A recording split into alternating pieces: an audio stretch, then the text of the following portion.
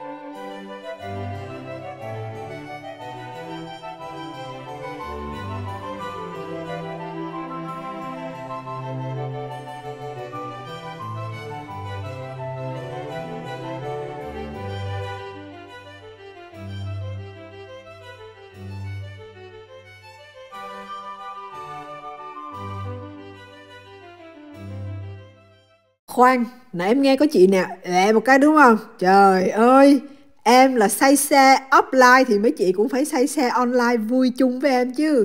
Đó thấy cái bạn hashtag nằm bên đường không mấy chị? Chúng ta đã gần tới rồi, gần tới rồi. Khúc này là em có cắt bỏ video nè để cho mau tới. Và đây ngôi làng mình nằm trước mắt chưa chưa tới ngôi làng không tới ngôi làng nhưng mà chưa đi tới ngôi làng tức là mình mới nằm ở phía dưới của ngôi làng thôi đi kiếm chỗ đậu xe nha. Lúc đầu em tưởng cái cáp treo ở trên cao nó đang đi lên nè, mấy chị thấy không? Đó, em tưởng là đi cáp treo đi lên trên ngôi làng đó, nhưng mà không phải, cái chỗ đó là cái mỏ muối. Mình thì sẽ vào ngôi làng trước, có giờ mới lên mỏ muối sau. Đó, mình quẹo phải nha mấy chị nha. Khúc này là gọi ngoài rìa của cái làng cổ thôi, mà mấy khôi thấy cảnh nó cũng đẹp đẹp rồi đó, nhà kiểu cũng cổ cổ rồi nhìn cũng bình yên rồi đó. Tới ngôi làng không biết làm sao ha, mấy chị có hồi hộp không? Giờ thì nắm tay nhau thật chặt, đi qua bên kia đường nha mấy chị, qua bên kia đường mới có cái đường lên trên làng. Dạ nghe nói cái làng này á, hàng năm là đón hơn cả triệu du khách ghé tới. Mà nghe nói là ngôi làng cổ thì mấy chị có đoán được ngôi làng này đã có bao nhiêu năm không?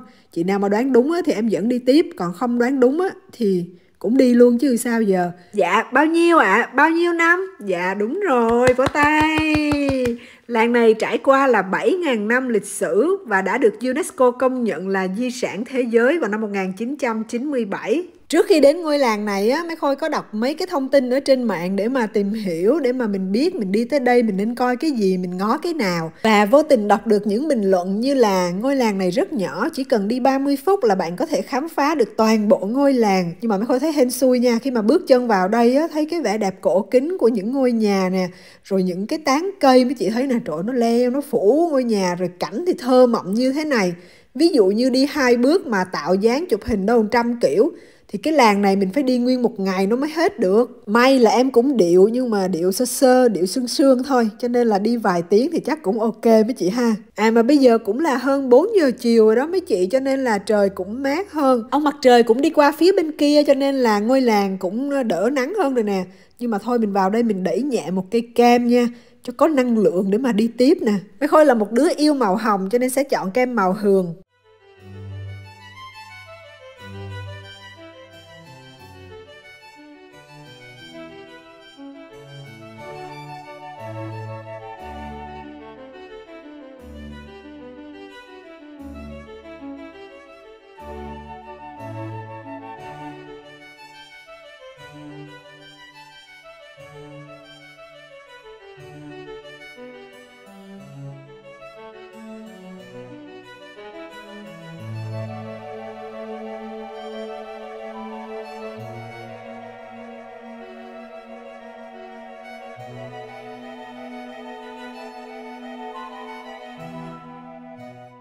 Những ngôi nhà ở trong làng này mới khôi thấy màu sắc không có sặc sỡ hay là nổi bật, nhưng lại làm cho ngôi làng trở nên thu hút bởi vẻ đẹp cổ kính của nó. Dọc đường đi thì có những cửa hàng bán những món đồ lưu niệm hay là những cái món hàng gọi là đặc sản của vùng cũng như là đặc sản của nước Áo.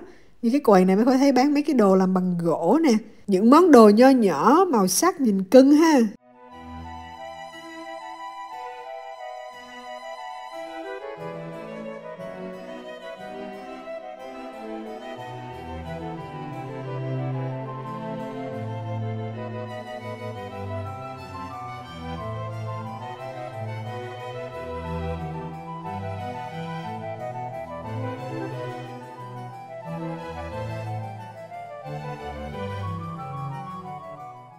Ở đây gọi là quảng trường chợ lịch sử. Mấy con không biết dịch qua như vậy có đúng hay không.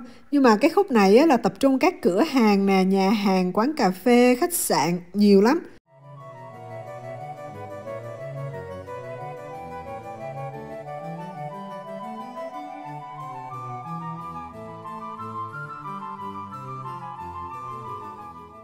Yeah. bà nhảy cả tân kìa trời ơi. Đi nãy giờ chưa đủ mệt, cho nên là chị ba quyết định phải vừa đi vừa nhảy mới đủ combo. Giờ là mình đang đi lên trên dốc, gọi là lên phía cao hơn một xíu nha mấy chị. Trời nhìn ra cái cảnh này thấy nó đẹp.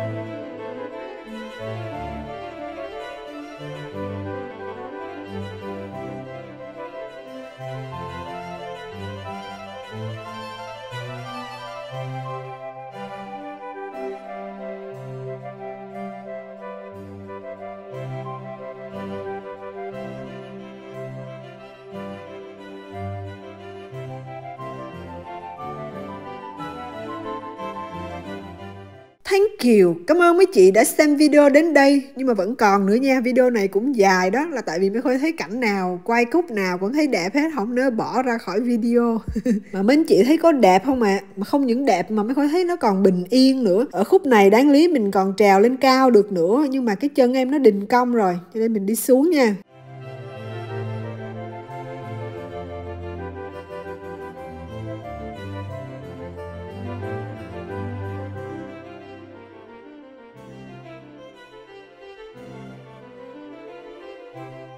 lúc nãy đi lên á, mình có đi ngang qua một ngôi nhà thờ, thì bây giờ trên đường đi xuống mai khôi sẽ ờ, dẫn mấy chị vào bên trong coi nhà thờ này như thế nào nha. Khi bước vào bên trong á, thì mấy khôi hơi bất ngờ, tại vì lúc mà mình đi nhìn nhà thờ từ đằng xa, thì mấy khôi tưởng tượng là nhà thờ sẽ rất là lớn, nhưng mà không gian thì nhỏ nhỏ, ấm cúng.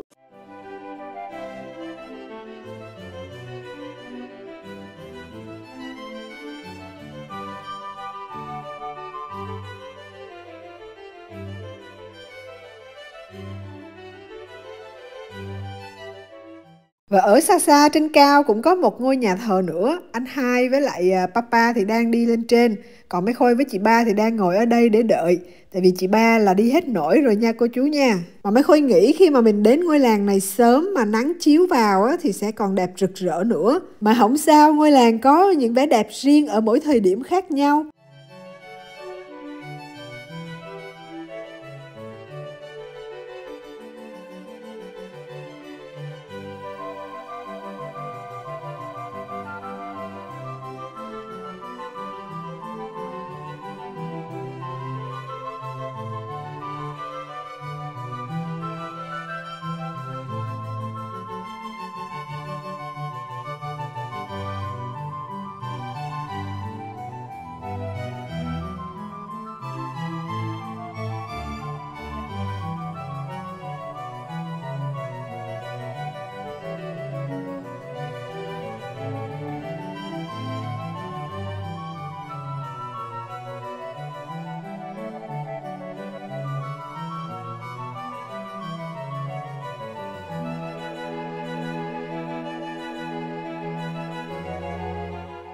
Lang thang ở ngôi làng nãy giờ thì mấy anh chị cảm nhận như thế nào ạ? À? Để lại bình luận chia sẻ cho mấy Khôi được biết với nha.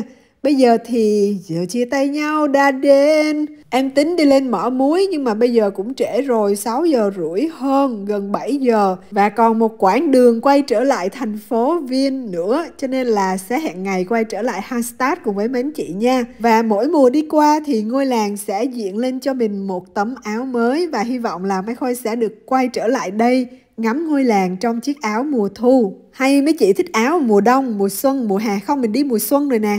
Thôi để lại bình luận cho mấy Khôi biết luôn nha. Bây giờ thì xin chào và cảm ơn mấy chị đã theo dõi mấy Khôi cho tới tận bây giờ. À biển tốt. Mua.